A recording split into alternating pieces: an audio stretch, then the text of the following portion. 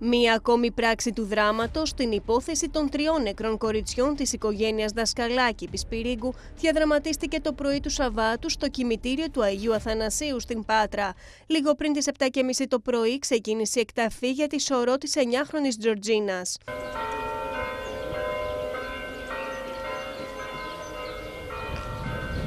Νωρίτερα έγινε τρισάγιος στη μνήμη της Τζορτζίνας, της Σύριδας και της Μαλένας. Να σημειωθεί πως οι αρχές πήραν μόνο το τάμπλετ και όχι βιολογικό υλικό.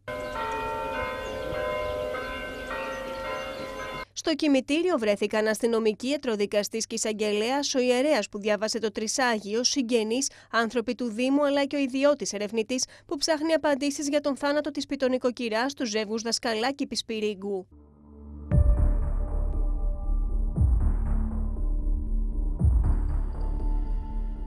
Το τάμπλετ μεταφέρθηκε στα εγκληματολογικά εργαστήρια της ασφάλειας Αττικής προκειμένου να φανεί αν μπορεί να δώσει περαιτέρω στοιχεία για τον θάνατο της 9χρονης από την θανατηφόρα δόση και ταμίνης.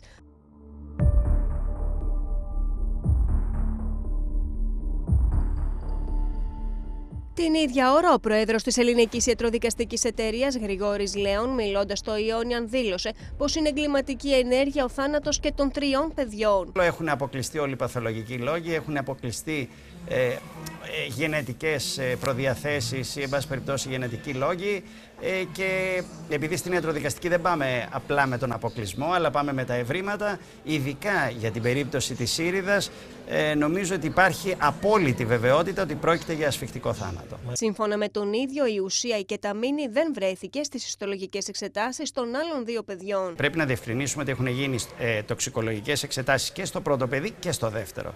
Μάλιστα, επιπρόσθετα πρέπει να σας πω ότι οι, οι τοξικολογικές εξετάσεις που ανέδειξαν την κεταμίνη στο τρίτο παιδί έγιναν από τους ανθρώπους οι οποίοι εξέτασαν και το πρώτο παιδί, τους mm. τοξικολόγους. Άρα το γεγονός ότι στο πρώτο και στο δεύτερο παιδί δεν βρίσκονται από τις τοξικολογικές εξετάσεις ουσίες σημαίνει προφανώς ότι δεν υπάρχει κεταμίνη, δεν υπάρχει τέτοιο ενδεχόμενο σε αυτούς τους δύο θανάτους. Σύμφωνα με τον κύριο Λέων, οι συνεντεύξεις τόσο της 33χρονη όσο και των άλλων μελών της οικογένειας θα οδηγήσουν στην λύση του θρίλερ.